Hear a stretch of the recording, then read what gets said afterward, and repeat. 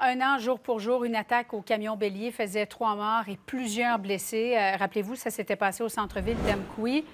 Euh, vous voyez d'ailleurs des images qui se déroulent à l'instant en direct. Euh, Katia, c'est une journée de commémoration qui a été organisée et on s'apprête à vivre une minute de silence en l'honneur des victimes.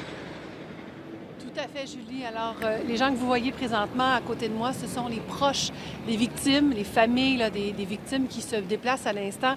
Dans les prochaines minutes, à 15h05, on va vivre une minute de silence. Vous l'avez dit, en l'honneur de ces trois victimes, Gérald Charret, Jean Lafrenière, Simon Guillaume Bourget.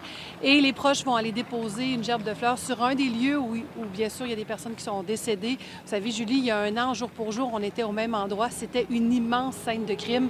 Donc aujourd'hui, un an plus tard, on se prépare à commémorer, se, souvenir, mais se tourner vers l'avenir également. Euh, je vous laisse entendre la mairesse à qui j'ai posé la question à savoir pourquoi, est-ce que c'est important de se souvenir d'un triste événement comme ça? La conjointe d'une des victimes n'était pas repassée encore à la marche sur les lieux de la tragédie. Elle n'était pas retournée marcher. Passer en voiture, oui, mais n'était pas retournée marcher. Tandis qu'aujourd'hui, on le fait ensemble.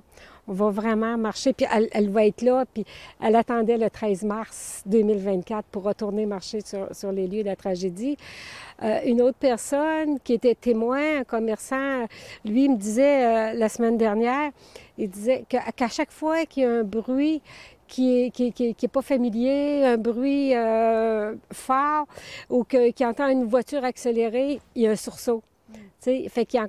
Bon, ça commence à être moins intense que, que les premières fois, mais il y a encore ça.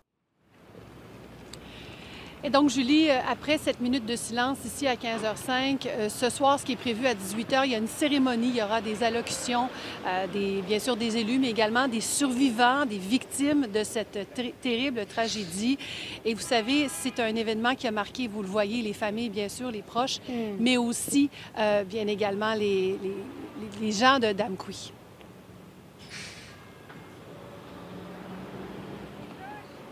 Je pense qu'on a un autre. Ça aide à faire le deuil, je pense. Tu sais, il y a un an de passé.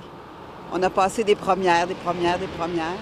Et là, il faut passer à autre chose, je pense. Puis c'est un moment de, de, se recueillir pour ça. C'est important de faire des petits gestes, euh, des petites commémorations euh, pour se rappeler de ce qui s'est arrivé. Fermer la boucle. Mais euh, je trouve assez que les gens sont résilients pareil. Tu sais. C'est pas, pas agréable, mais au bout de la ligne, pour regarder en avant.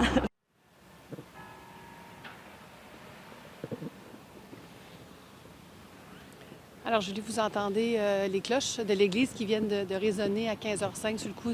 C'est il y a un an, jour pour jour, à cette heure-ci, que ce terrible drame s'est produit ici à Amkoui. Euh, un chauffeur, pour, aucune, pour la raison qu'on s'explique encore mal, un an plus tard, a décidé de faucher des piétons qui circulaient le long de la rue principale ici. Il y a trois personnes qui sont décédées, plusieurs victimes. Alors, on se prépare, euh, vous voyez, un moment quand même solennel ici mm -hmm. à Amkoui pour se souvenir de ces, de ces trois victimes, mais également de tous les gens, toutes les personnes qui ont été touchées de près ou de loin par ce drame. Très bien. Merci beaucoup, Katia. De rien.